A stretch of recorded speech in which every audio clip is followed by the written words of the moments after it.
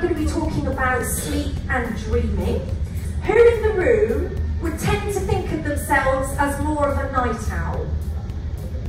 Okay, I'd say that's roughly about a third of you.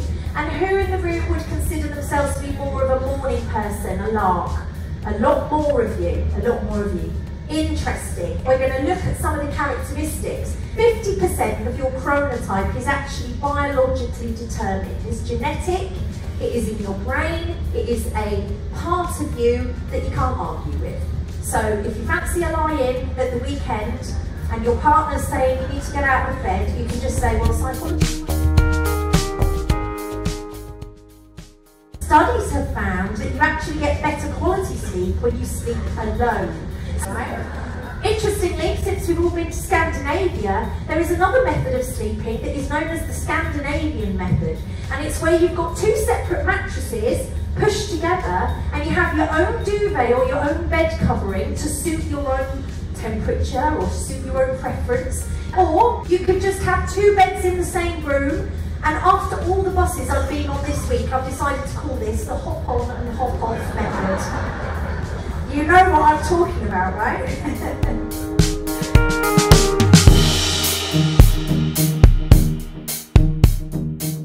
Your brain is incredible at remembering things. Our short-term memories are in the part of our brain that many people uh, consider is what makes us uniquely human. It's the part that's kind of making our forehead swell when you look at, say, our nearest relatives in primates and things like that.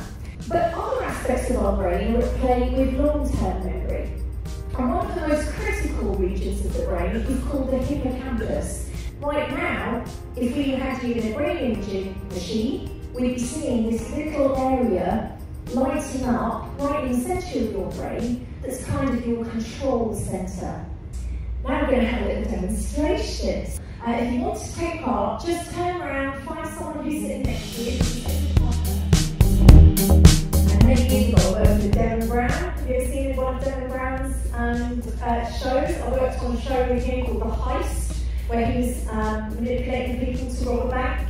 And uh, I was the behind the scenes psychologist on that particular show. And not going to give away any of Derren Brown's secrets, but there be images uh, around places that uh, subliminally influence you. If you need to remember something really important, they have shown that a red pen, because of the increase in alarm and emotional arousal, it can actually improve your memory by up to 30%. So if you really need to remember something, put it in a red pen.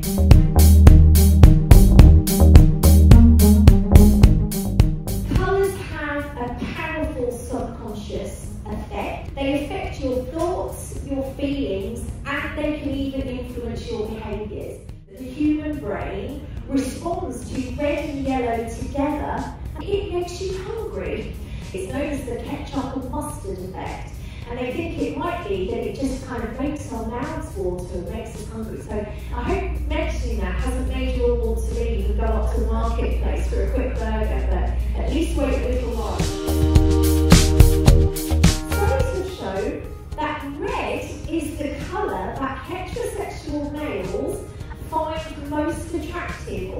Average in females. So ladies in the audience, if you ever want to get somebody's heart racing, apparently red is the colour to wear.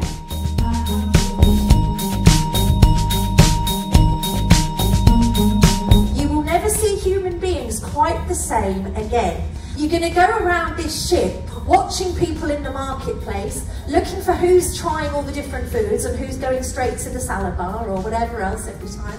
Uh, looking at who's getting off the ship in Copenhagen, raring to go, going to explore, and who's decided to sit on board and read their book. We can understand each other's personalities better, then we can learn to work together. Thank you very much.